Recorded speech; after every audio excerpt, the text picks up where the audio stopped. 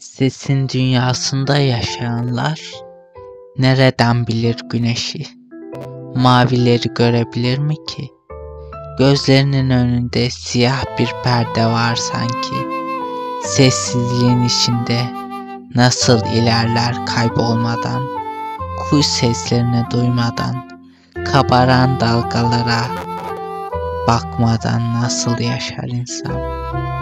İçine huzur doldurmadan, denize ve geceye, aya göz kırpmadan, belki de görenin göz olmadığını biliyordur onlar.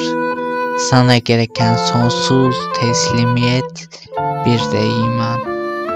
Gören göz değildir belki de, gösteren Allah.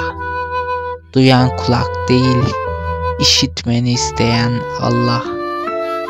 Bilen sen değilken üstelik bildiren Allah.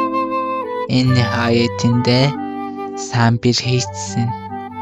Kale alan yüce yaradan. Gücü olan değilsin. Gücü yaratan Allah. Kusursuz değilsin. Kusursuz olan Allah'tır Allah. Ve hakikat budur ki La ilahe illallah